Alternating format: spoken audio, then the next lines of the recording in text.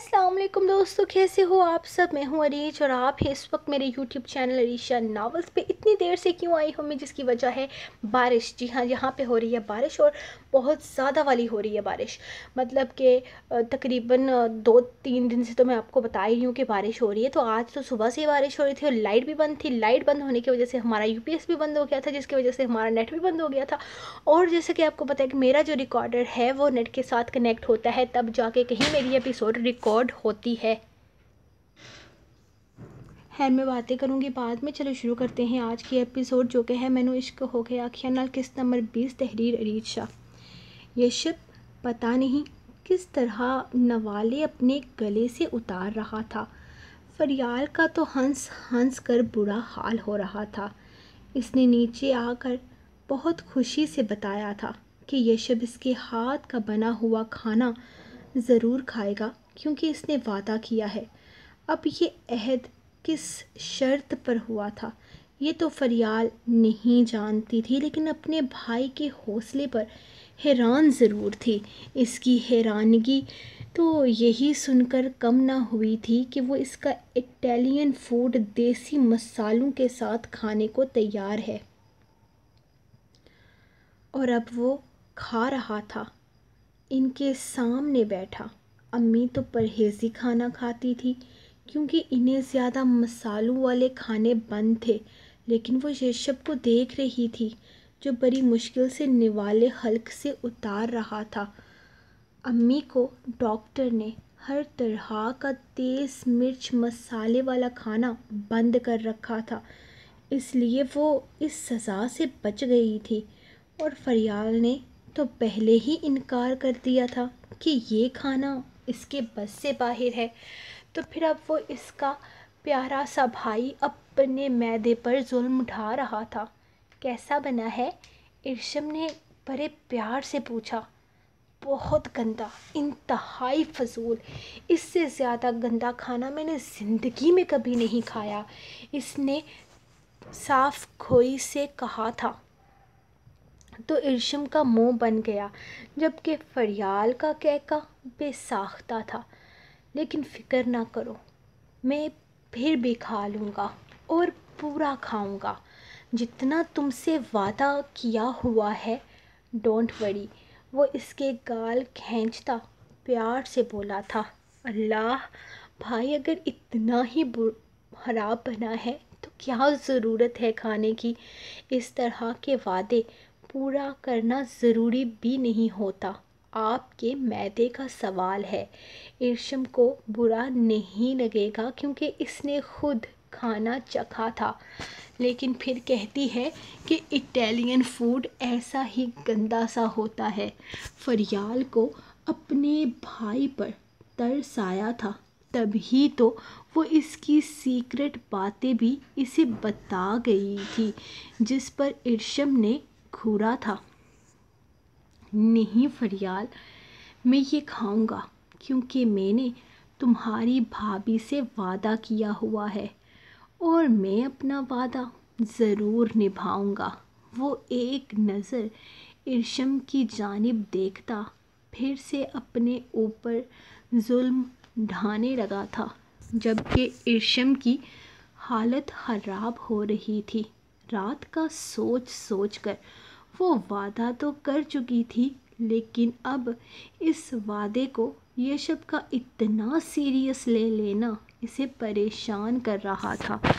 यशब तो इसकी छोटी सी बात को ज़रूरत से ज़्यादा सीरियस ले गया था। इसका मतलब था कि जिस तरह वो अपना वादा निभा रहा था, छोड़ने वाला वो इसे भी नहीं था। ये शब बस करें अच्छा नहीं है तो क्या ज़रूरत? वो बड़ी मासूमियत से बोली थी।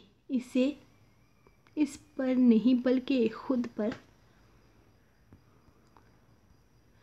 तरस आया था। ना इर्शम मैं ये पूरा खाऊँगा। वादा किया है। मैं अपने वादे नहीं तोड़ता और ना ही दूसरों को तोड़ने देता हूँ। वो दिलकशी से मुस्कुराहट के साथ जुमानी अंदाज में बोला तो इर्शम की रीढ़ की हड्डी में सनसनाहट हुई थी। इसे रह रह कर अपने, अभी दो घंटे पहले वाली मुलाकात याद आ रही थी, जब इसने कहा था कि आप मेरे लिए एक दिन मेरे हाथ का बनाया इटालियन फ़ूड नहीं खा सकते। जिस पर यशब ने बड़े प्यार से कहा था कि मैं तुम्हारे लिए अपनी जान भी दे सकता हूँ। मेरी जान का टोटा तुम सारी रात साथ निभाने का वादा तो करो। और फिर इसकी इस बात पर इर्शम ने बड़ी हिम्मत का मुजाहरा करते हुए इससे कहा था कि अगर वो इसके हाथ का बना पूरा खाना खाएगा, जो इसके हिसाब से नामुमकिन था तो वो इसके साथ सारी रात जागेगी। और अब वो अपना वादा निभा रहा था और इर्शम की हालत खराब हो रही थी। वो हैरानगी से इसे देख रही थी, जबकि वो इसकी हैरानगी को नज़रअंदाज किए। अपनी प्लेट खाली कर चुका था। खा लिया, तुम्हारा बनाया इंतहाई फजूल इटालियन खाना। वो जैसे बहुत बड़ा मांस फतह करके फारिग हुआ था। भाई, मैं चाय बना दे, लाती हूँ। आपके लिए फरियाल उठते हुए बोली थी, जबकि वो सिर्फ़ हाँ में सर हिला गया था, जब आज़ानें शुरू हो गई। और अम्मी ईशा की नमाज़ अदा करने के लिए उठ गई थी, जबकि वो हैरत से इसे देख रही थी, जो कुर्सी पीछे की तरफ़ किए सर कुर्सी पर पीछे की तरफ़ सर किए लेटने वाले अंदाज में बैठा हुआ था। आप ठीक तो है ना यशब? वो आगे को होकर फिक्रमंदी से बोली तो यशब के चेहरे पर दिल फरेब मुस्कुराहट आई थी। तुम अपनी हैर मनाओ मेरी जान का डोटा, क्योंकि ये सब खिलाने के बाद अब तुम ठीक नहीं रहोगे। इस बात की मैं गारंटी देता हूँ। वो इसके दिलकश चेहरे को देखते हुए ज्योमानी अंदाज में बोला, इसकी धमकी पर उसके गाल दहकने लगे थे। जब थोड़ी देर में फरियाल इसके लिए चाय बना कर ले आई थी। शुक्रिया। फरियाल चाय से ज़्यादा इस वक्त मुझे और किसी चीज़ की तलब नहीं है।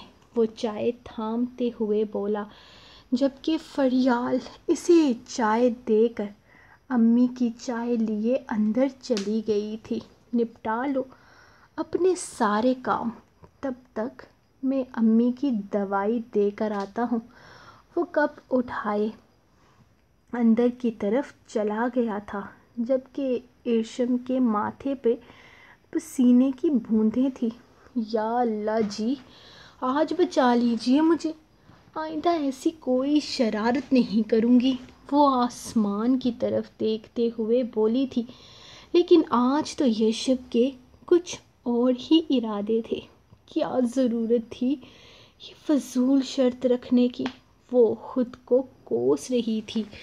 इसे यकीन था कि वो जितना बुरा खाना बनाकर इसने दिया है, ये यशब से हरगिज़ नहीं खाया जाएगा। और वो इसके रोमांस से बच जाएगी। लेकिन नहीं, यहाँ तो उल्टा ही हो गया था। वो अंदर दाखिल हुआ तो बाबा ने बस एक नज़र इसे देखकर चेहरा फेर लिया था। वो इससे नाराज़ थे। बाबा, मुझे आपसे ज़रूरी बात करनी है। इसने इन्हें मुखातिब किया था। मुझे तुम्हारी कोई बात नहीं सुननी शाकर, लेकिन तुम मेरी एक बात सुन लो। बहुत कर ली तुमने अपनी मनमानी। अब वो होगा जो मैं चाहूँगा। हम कल सुबह यशब के घर जा रहे हैं। तुम्हारा रिश्ता लेकर। अब मैं इस मामले में किसी तरह की ताखीर नहीं होने दूँगा। वो जैसे अटल फैसला कर चुके थे। बाबा, आपकी नज़रों में क्या मेरी मर्ज़ी की कोई अहमियत नहीं है? जब मैंने कह दिया कि मैं इस शादी के लिए तैयार नहीं हूँ तो आप मेरे साथ ज़बरदस्ती कैसे कर सकते हैं? मैं ये शादी हरगिज़ नहीं करूँगा। और ये मेरा फ़ैसला है। वो बगावत पर उतर आया था। उन्होंने गुस्से से पास खड़ी अपनी बेगम को देखा। क्योंकि इनके मुताबिक सारा कसूर इनकी बेगम का था, जिनके भेजा लाड प्यार की वजह से आज इनका बेटा इनके रूबरू खरा इनके हुक्म को टाल गया था। ठीक है, अगर ये तुम्हारा आखिरी फ़ैसला है तो एक फ़ैसला मेरा भी सुन लो शाकर। अगर तुम इस शादी से इनकार करते हो या फिर अपनी इस फजूल ज़िद को नहीं छोड़ते तो तुमसे मेरा कोई ताल्लुक़ नहीं रहेगा। और अगर तुम्हारा ताल्लुक़ मुझसे ख़त्म हुआ तो याद रखना कि तुम्हारा ताल्लुक़ हर चीज़ से ख़त्म हो जाएगा। मेरी जायदाद पर भी तुम्हारा कोई हक नहीं रहेगा। तुम्हारा हिस्सा मेरी विरासत से भी ख़त्म हो जाएगा। मैं भूल जाऊँगा कि तुम मेरे इकलौते बेटे हो। वो गुस्से से इसे देखते हुए बोल रहे थे। इनके लबो लहजे से साफ़ ज़ाहिर था कि वो इसकी इस बात की किसी गलती को, इस बार की गलती को माफ़ करने का इरादा नहीं रखते। बाबा, आप किसी गैर के लिए मुझसे ताल्लुक़ तोड़ रहे हैं। कैसे बाप हैं आप? क्या आप मेरी भलाई नहीं चाहते? क्या चाहते हैं आप कि मैं यहीं पर सबकी तरह नाकाम हो जाऊँ? अपनी ज़िंदगी में कुछ हासिल ना करूँ तो ठीक है बाबा। अगर आप किसी गैर के लिए मुझसे ताल्लुक़ तोड़ सकते हैं तो फिर मैं अपनी ज़ात के लिए स्टेप क्यों नहीं ले सकता? अगर आपने फ़ैसला कर ही लिया है तो एक फ़ैसला मेरा भी सुन लीजिए।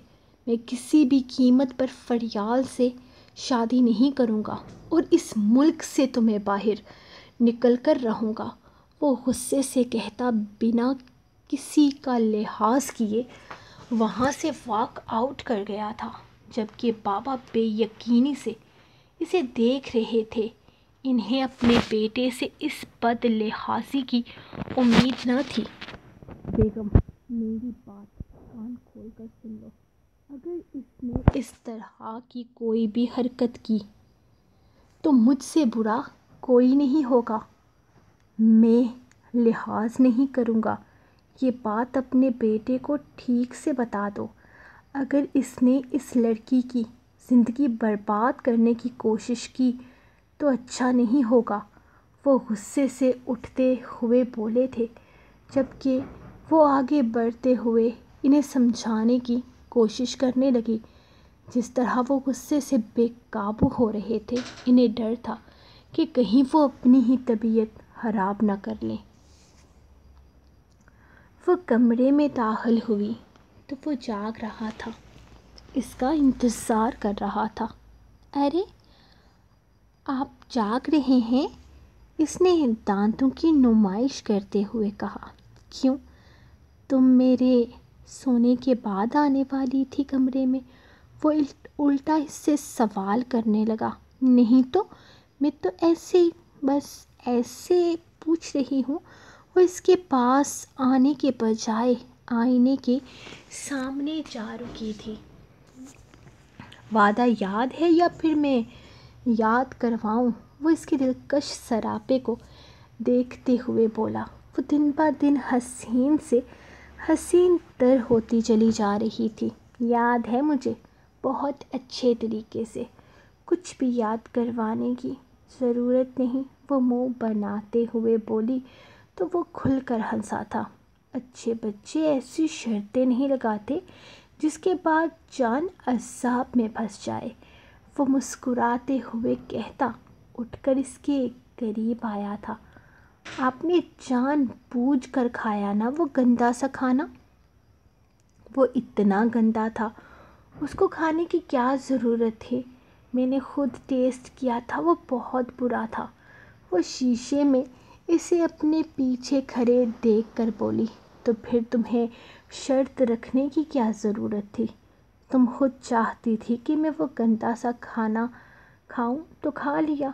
तुम्हें तो खुश होना चाहिए कि तुम्हारा शोहर तुम्हारी गुर्बत पाने के लिए किस हद तक जा सकता है।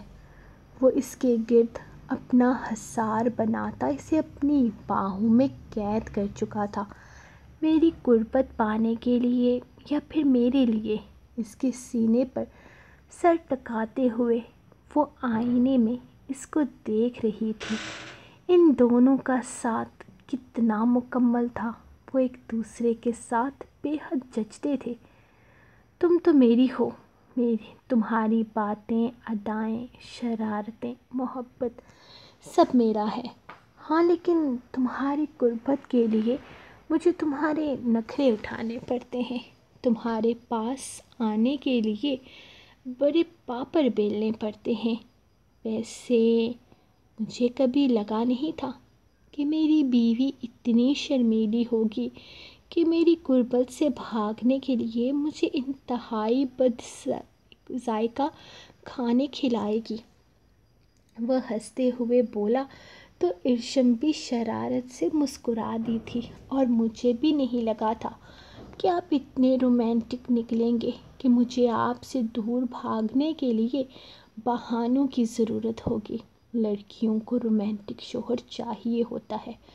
वो दिलकशी से मुस्कुराता इसकी गर्दन पर अपने लब रख गया था। रोमांटिक शोहर चाहिए होता है। इतना रोमांटिक नहीं किसी को चाहिए होता, जो हर वक्त ही अपना रोमांटिक मूड ऑन रखे। वो इसका हसार तोड़ती बेड पर आकर बैठी तो वो भी इसके साथ ही जुड़ कर बैठता, इसके गिर्द अपनी बाहें फैला गया था। ना शुक्री हो तुम बीवी, इतना मोहब्बत करने वाला शोहर मिला है, कदर ही नहीं है तुम्हें मेरी।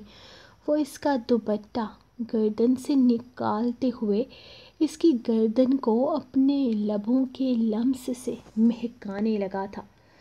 आप मोहब्बत करते हैं मुझसे, वो इसके जुमले में इजहार, तलाश करते हुए कहने लगी तो यशब की मुस्कुराहट गहरी हुई थी। तुम बताओ, क्या नहीं करता? वो इस पर इसे बेड पर लेटाते हुए इस पर साया फगन होता पूछने लगा। हम फ़िल्म देखने वाले थे। इसकी गर्म सांसों की हिद्दत अपनी गर्दन पर महसूस करती, वो इसे कुछ याद करवाने लगी। इंतहाई छिछोरे, हीरो की इंतहाई छिछोरी मूवी है। सोच लो, इसके कानों की लो पे लब रखते। इसकी महकती सांसों को वो कैद करने लगा। मुझे देखनी है। इसकी गुर्बत से घबराते हुए वो बोली तो यशब ने घूर कर इसका चेहरा देखा। इस हीरो से ज़्यादा हैंडसम है तुम्हारा हीरो, इसने नाराज़गी से कहा। तो ईशम की हँसी निकल गई। मैंने फिर भी फ़िल्म देखनी है। वो हँसी दबाते हुए बोली, ठीक है, मुझे कोई एतराज़ नहीं। देख लो इंतहाई छिछोरे, हीरो की छिछोरी सी फ़िल्म। और फिर मैं अपनी छिछोरी फ़िल्म अगर किसी तरह का एतराज़ उठाया ना तो अच्छा नहीं होगा। वो जैसे इसे वॉर्न कर रहा था। मुझे कोई एतराज़ नहीं, लेकिन फ़िल्म तो मैं ज़रूर देखूँगी। वो इसे तंग करते हुए बोली तो यशब उठकर बैठ गया था। हाँ लेकिन इसे अपने हसास से निकलने नहीं दिया था। वो पूरी तरह से इसके पास वो में कैद थी। थोड़ी ही देर में वो टीवी पर कोई फ़िल्म ढूंढ रहा था। कुछ देर में एक इंतहाई रोमांटिक इंग्लिश फ़िल्म मिली थी, जिसमें हीरो की हरकतें तो ज़रूरत से ज़्यादा ही बेबाक थी। ये अच्छी नहीं है ये सब कोई और लगाएँ। हीरो को शर्ट लेस किसी लड़की के पीछे जंगल में कहीं जाते देखकर वो बोली थी नहीं, मुझे तो यही देखनी है। अब तुम भी चुपचाप मेरे साथ यही फ़िल्म देखो। नहीं, मुझे नहीं देखनी ये वाली फ़िल्म। मुझे ड्राउनी फ़िल्म देखनी है, चुड़ैल वाली लगाएँ। वो बोली तो यशब ने हैरत से उसे देखा था, जबकि खुद को वो बहुत बहादुर ज़ाहिर कर रही थी। यशब ने कंधे उचका कर कोई ड्राउनी फ़िल्म ढूंढना शुरू की थी। वैसे मुझे हॉरर प्लस रोमांटिक मूवीज़ ज़्यादा पसंद हैं। वो बेड करान से टेक लगाए अपना ध्यान टीवी स्क्रीन की तरफ़ कर चुका था। हाँ मुझे सिर्फ़ ड्रामनी मूवीज़ अच्छी लगती हैं। रोमांटिक फ़िल्में मुझे नहीं पसंद। वो बोली तो यशब की हैरत की कोई इंतहा न रही थी। तुम्हें डर नहीं लगता? इसने पूछा था। डर? फ़िल्मों से कौन डरता है? वो हँसते हुए इस अंदाज में बोली कि यशब इसकी बहादुरी पर मुतासर हुआ था, जबकि वो बहुत गौर से देख रही थी टीवी को, जब अचानक ही स्क्रीन पर कोई हॉरल सीन शुरू हुआ। सामने से आने वाली लड़की एक इंतहाई खतरनाक रूप धार चुकी थी। वो चीखते हुए यशब के ऊपर चढ़ चुकी थी। यशब, बंद करे, वो बाहर निकल आएगी। वो चीखते हुए यशब के सीने में घुसती। इसे टीवी बंद करने का कह रही थी। जबकि इसके इस तरह से चीखने चिल्लाने पर ईशब खुद ही बौखला कर इसे अपने सीने में छुपा गया था। रिलैक्स हो जाओ इर्शम क्या हो गया है? वो टीवी से बाहर नहीं आ रही यार। वो तो इसकी बातों पर हँसते हुए इसे खुद से लगाए हुए था। जबकि इर्शम बहुत ज़्यादा घबरा गई थी। इसने टीवी बंद कर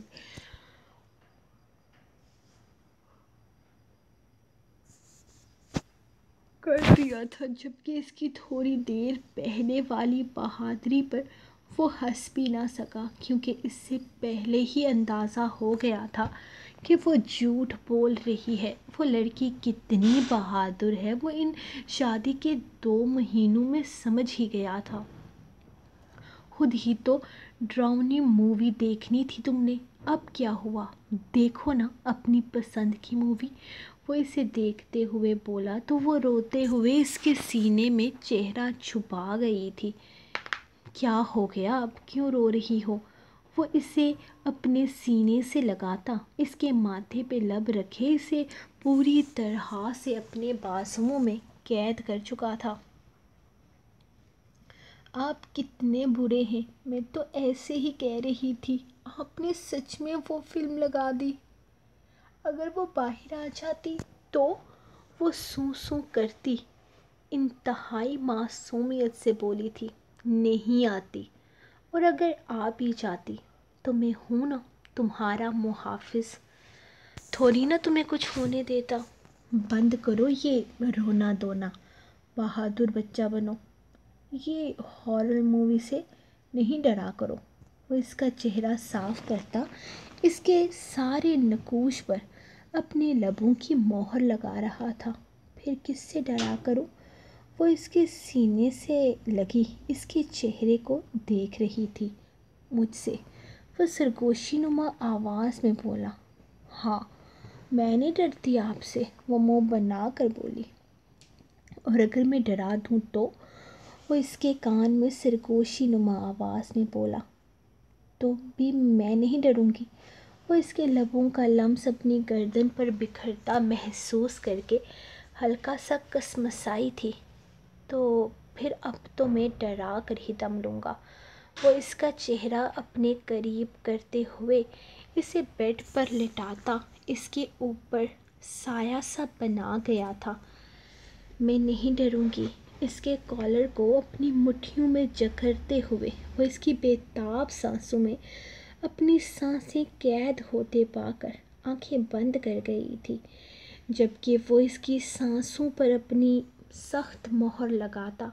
इसे खुद से डराने के बजाय नरमी से, इसे खुद में कैद करता जा रहा था। वो इससे डरने के बजाय इसकी कुर्बत की आदि होती जा रही थी। इसकी मोहब्बतों के रंग में, रंगों में रंगती चली जा रही थी। खुद को इसके नाम करती सिर्फ़ इसकी होती चली जा रही थी। अस्सलामुअलैकुम। पप्पा जान, कैसे हैं आप? और सुनाए, तबीयत कैसी है आपकी? मैंने सुना है कि आजकल आपकी तबीयत कुछ नासाज रहती है। पप्पा जान का फ़ोन आज तकरीबन डेढ़ माह के बाद आया था। तकरीबन ढाई महीनों से वो लोग इनके तरफ़ आन, रिश्ते की उम्मीद लगा रहे थे, लेकिन इन लोगों की तरफ़ से कोई भी फैसला नहीं हो रहा था। वो ना तो फरियाल का ज़िक्र कर रहे थे और ना ही शादी का। इत्तफाक से कभी फुप्पो से बात हो भी जाती, होती तो हो जाती, वरना आजकल फुप्पा जान ने इसके सामने आना ही छोड़ दिया था। एतवार के दिन जब वो इनके घर जाता तो भी वो घर पर मौजूद ना होते। ऐसा लग रहा था जैसे वो इससे छुपने की कोशिश कर रहे थे, या फिर कोई और वजह थी, वो नहीं जानता था। लेकिन इसे अपनी बहन की परेशानी तो थी, फरियाल का ज़िक्र तक कहीं नहीं छिर रहा था, और यहाँ इसकी बीवी इसे साफ़ अल्फाज में कह चुकी थी कि वो लोग इसकी बहन का रिश्ता लेकर आने वाले हैं।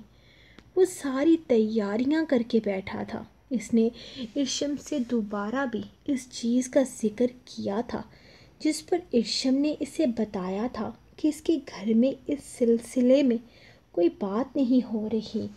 हालाँकि अम्मी ने यही कहा था कि वो लोग रिश्ता लेकर आने वाले हैं, लेकिन वो लाए नहीं थे।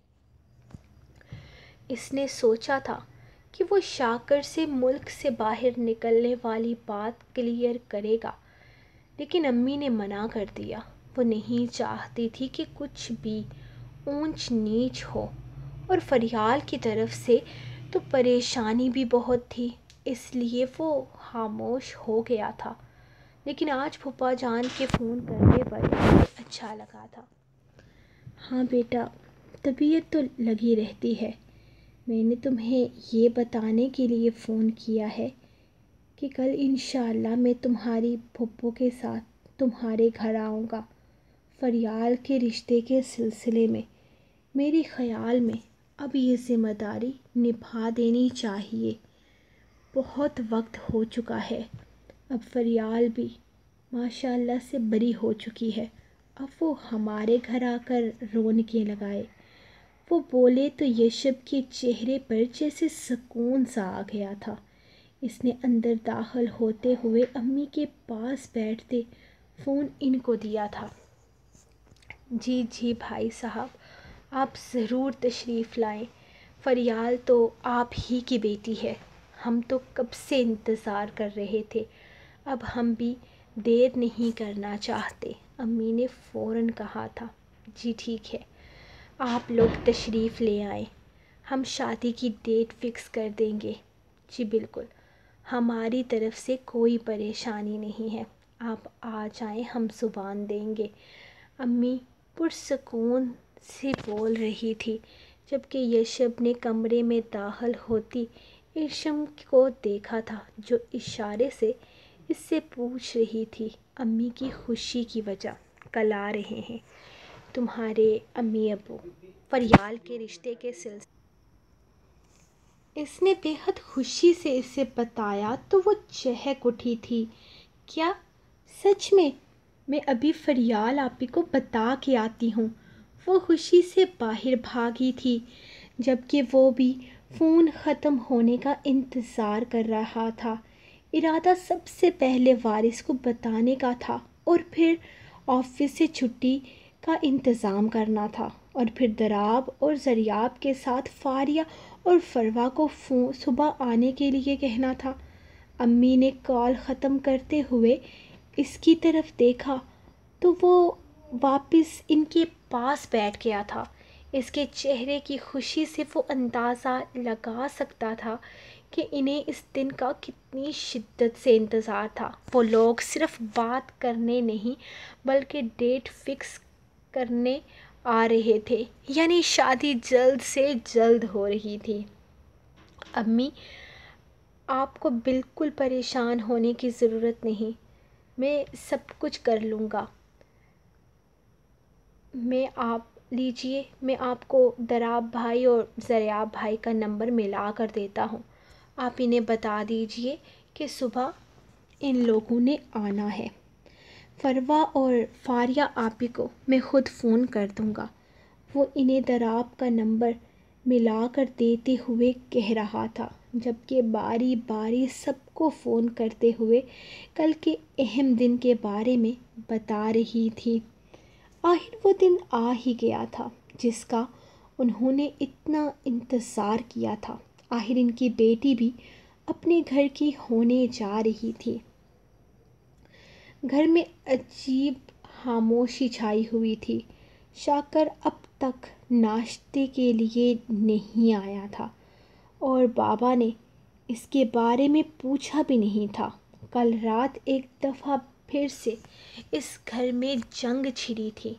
शाकर ने अपने बगावती अंदाज में कह दिया था कि वो फरियाल से शादी नहीं करेगा। जबकि बाबा के गुस्से की तो कोई इंतहा न रही थी।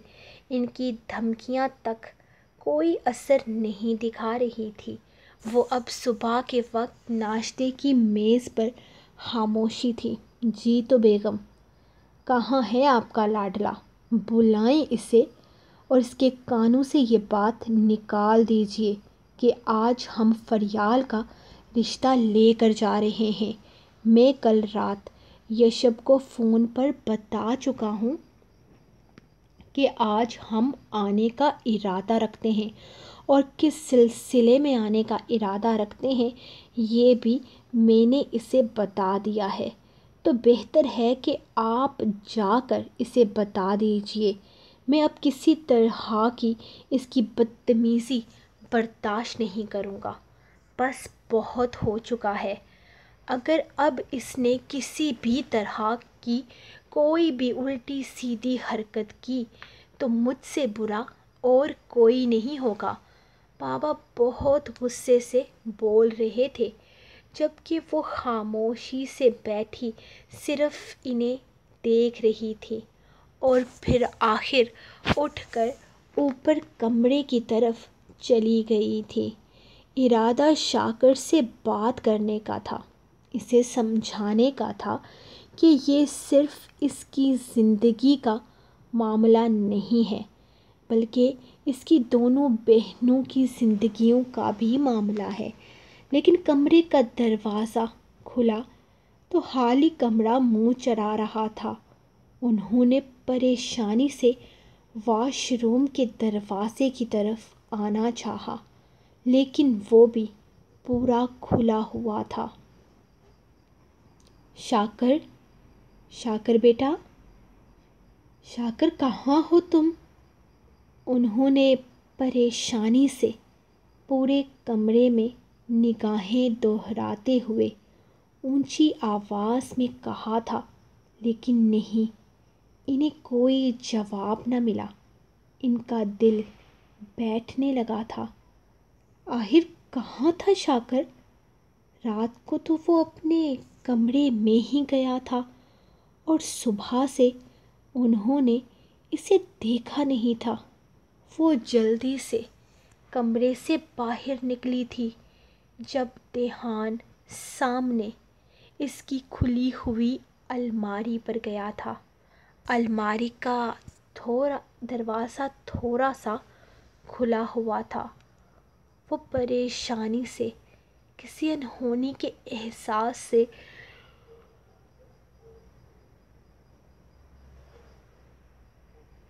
आगे बढ़ी और अलमारी का दरवाज़ा पूरा खोल दिया।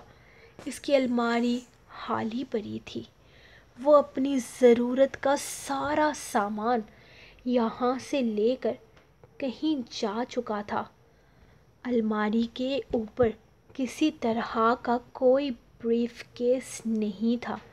जो सफरी बैग वो इस्तेमाल करता था, वो भी इस वक्त यहाँ मौजूद नहीं था। कहीं वो चला तो नहीं गया। इसके, इनके दिल में अजीब से अंदेशे पैदा होने लगे थे। कल रात वो अपने बाप से लड़ते हुए कह रहा था कि वो यहाँ नहीं रहेगा। इसका काम हो चुका है। वो जल्द ही पाकिस्तान से निकल जाएगा। मार्था नामी औरत इससे शादी के लिए तैयार है और वो मार्था से पेपर मैरिज करेगा और फिर इसके ज़रिए कनाडा जाएगा। वहीं पर रहते हुए वो दो तीन साल के अंदर मार्था का कर्ज़ा उतारेगा।